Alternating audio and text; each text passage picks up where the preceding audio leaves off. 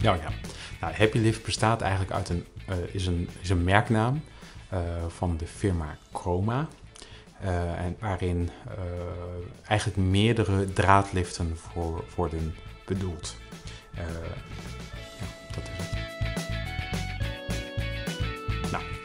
Belangrijkste voordeel is, is dat je daarmee ja, gewoon hangende, hangende ja, gezichtsdelen mee kan behandelen en waardoor je niet hoeft te vullen. En dat kan in sommige eh, eh, gevallen best een heel groot voordeel zijn. Bijvoorbeeld als mensen al te veel vulling hebben en dat ze toch nog wat extra effect willen hebben, of als mensen gewoon een breed gezicht hebben.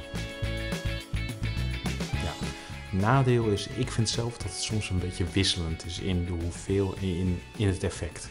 Nou, dat kan je je voorstellen. Het is best, best prijzig, zijn best prijzige behandelingen. Uh, dan wil je eigenlijk ook wel dat mensen echt daar gegarandeerd resultaat kan krijgen.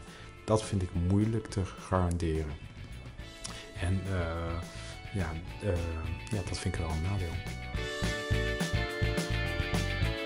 Je kunt het in principe voor heel veel dingen gebruiken waarmee je uh, ja, een hangende, ja, alles wat hangt. Nou, je kunt er een, een lift van de wenkbrauw mee realiseren. Je kunt de hang van de van de wangen, die kan je wat liften. Je kunt het voor de kaaklijn doen.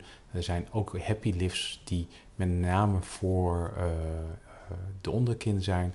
Alleen daar wordt, ja, die worden eigenlijk niet gebruikt hier in Nederland.